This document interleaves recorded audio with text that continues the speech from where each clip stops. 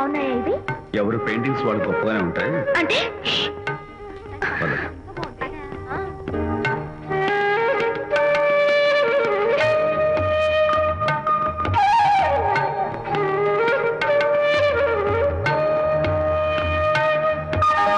ఏ colours వాడారు?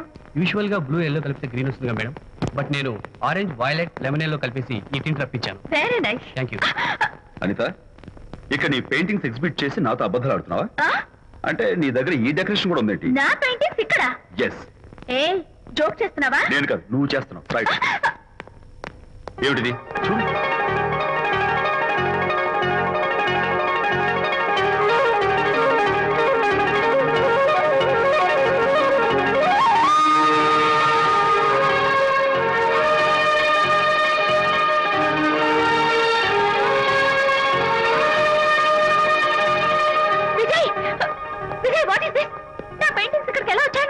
అంటే నీకు తెలియకుండానే మీ ఇంట్లో ఎగురుకుంటూ వచ్చేస్తాయా నేను ఫుల్లో కనబడతా నీకు? ప్లీజ్ బిలీవ్ మీ అదే నాకు అర్థం కావడం లేదు. అదే అదే అక్కడ ఫిక్స్ అయ్యి.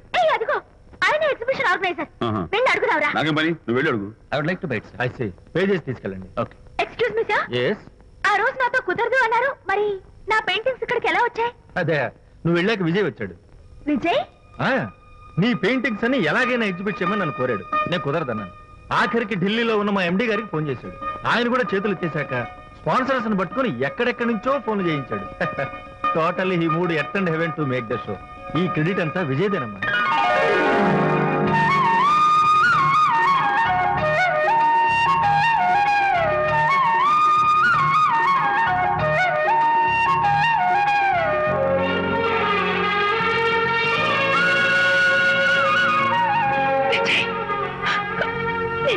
నిన్నేమనుకోవాలో తెలియటం లేదు.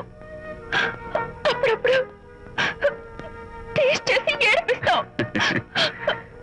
అంతలోనే నాకు కావాల్సిన సాయం చేసి సర్ప్రైజ్ చేస్తావు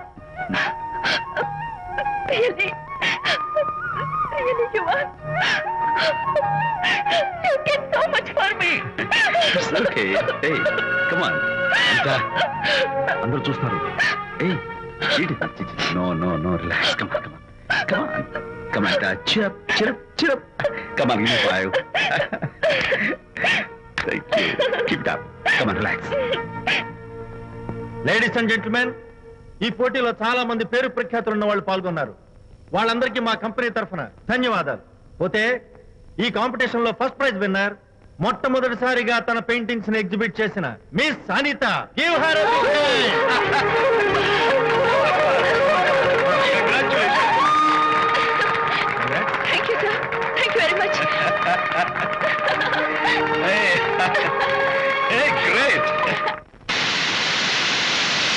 నానా ఏంటి నాన్న?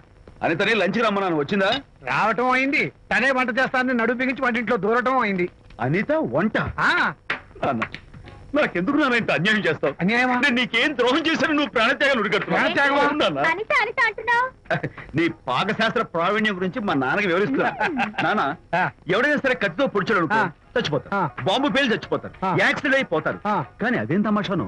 అనిత వంట తింటుంటే. మధ్యలో నుంచి ఏ బాధ లేకుండా హాయిగా టపాగట? అయ్యో చాలా టాలెంట్ ఏదో ఆడ మనిషిలే నిల్లు కదా అని కమ్మగా వండి పెడదాం అనుకున్నాను అదెంత బుద్ధి తక్కువ నాకు ఇప్పుడు అర్థమైంది నీ బోడి లక్ష నాకేం అక్కర్లేదు నేను ఏయ్! గుడ్ బై అరే, అమ్మాయి, అన్నం Bye. పెట్టుకోరా? అరే, ఆపరా? అరే, అమ్మ, అమ్మాయి. ఎలా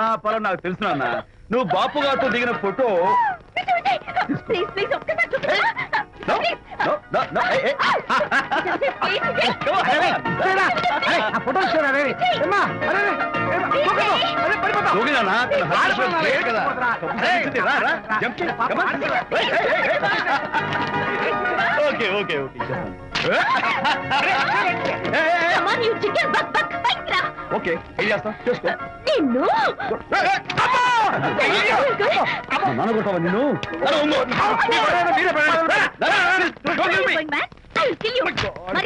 నాకు ఓ. ఇవ్వు. ఏ, ఇదిగో, ఇవ్వమంటుంది. ఇవ్వు. Oh.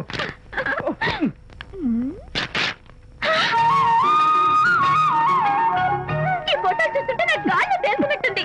నాకు మాత్రం పర్వతాలు మోస్తుంటాం నిన్ను. Sorry sorry I love this Vijay thank you thank you it's okay నేను ఎలా ఉన్నా చెప్పు. బాపు గారి పక్కన ఓ ఎర్ర కోతి పిల్ల లేవు. సారీ సారీ సారీ అమ్మాయి గారు పాలండి. అబ్బాయి గారు సేమియా అండి.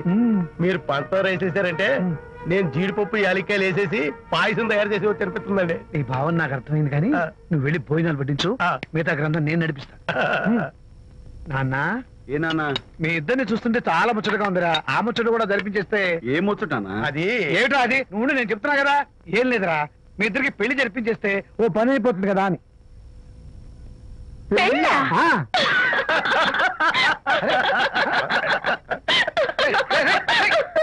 ఎందురా ఎందురా ఇలా పగలబడి చూస్తున్నారు? నేనేమన్నా జోక్ చేశానా ఇప్పుడు? ఒరే నాన్న. చెప్పబాయ్. కొంపదీసి మేము ఇద్దరం లవర్స్ అనుకుంటావా ఆ. పిచ్చి నాన్న జోక్ కాబట్టి ఏంటి? అంటే మీరిద్దరు ప్రేమించుకోవట్లేదా? ప్రేమ? ఆ? అరే, మళ్ళీ నవ్వుతారు? ఓకే ఆపండ్రా. మరి మీరిద్దరు కలిసి తిరుగుతున్నారు కదా? ఫ్రెండ్షిప్ క్లోజ్గా మూవ్ అవుతున్నారు కదా? ఫ్రెండ్షిప్ అంటే అన్నా చెల్లెలు టైపా? కాదు. పోనీ అక్క తమ్ముడు టైపా? కాదు. అయ్యి బాబోయ్ ఏది కాకుండా ఒక ఆడ మగ కలిసి తిరుగుతున్నారంటే అర్థం ఏంటండి? అసలు అది ఎలా కుదురుద్దండి? మగ మగ మధ్య ఫ్రెండ్షిప్ అంటే అదో దారి. ఆడ ఆడ మధ్య ఫ్రెండ్షిప్ అంటే అది ఓ దారి. ఆ. ఇది ఏది కాకుండా ఆడ మగ మధ్య ఫ్రెండ్షిప్ అంటే నాకేం అర్థం కావడం లేదండి. ఒరే మట్టి బుర్రా నీకు అర్థం కాదు కానీ వెళ్ళి పని చూసుకోపో. వాడే కాదురా. ఆడ మగ మధ్య ఉన్న బంధం ఫ్రెండ్షిప్ అంటే ఎవ్వరు ఒప్పుకోరు. ఎందుకు ఒప్పుకోరు? ఏ ఫ్రెండ్షిప్ మాత్రం బంధం కదా? ఇన్ఫాక్ట్ తన భావాలు నాకు నచ్చుతాయి నా భావాలు తనకు నచ్చుతాయి. We're friends that's all friends అని మీరు చెప్పుకున్న సొసైటీ నమ్మదురా. సొసైటీ నమ్మించాల్సిన అవసరం మాకు లేదు. ఇట్స్ నాట్ అవర్ ప్రాబ్లం మీకు ప్రాబ్లం కాదురా నాకు ప్రాబ్లం మీకు ప్రాబ్లం ఏంటి అంకుల్ ఏం లేదమ్మా ఇన్నాళ్ళు నువ్వు నా కోడలు అవుతావని మురిసిపోయాను. ఇప్పుడు మీరు ఫ్రెండ్స్ అవటం వల్ల అది కుదరటం లేదు. ఇప్పుడు వీడికి పెళ్ళాన్ని ఎక్కడ వెతకాలని? డోంట్ వరీ అంకుల్ విజయ్కి పెళ్ళాం ఎక్కడో పుట్టే ఉంటుంది. హలో పెళ్ళాం. అంకుల్ మీకు కోడల్ని తెచ్చే బాధ్యత నాది.